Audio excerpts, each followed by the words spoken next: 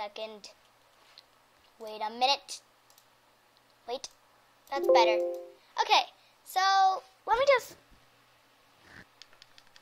Okay, good. Uh, let's go. Anyways. Ah! That's better. Happy Canada Day, everybody. Um, to the Canadians that live here, Happy Canada Day.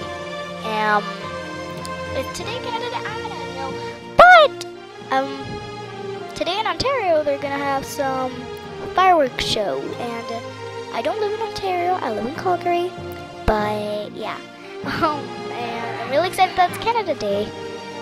Um, but we're just gonna, we're just gonna stay home. Because we have nothing special to do. This is really boring, staying at home.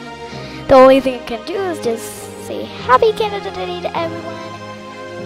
Yeah, so uh, if you don't live in Canada, that's okay. Just Happy Canada Day you as well. so yeah, Happy Canada Day, everyone. Bye, Charles.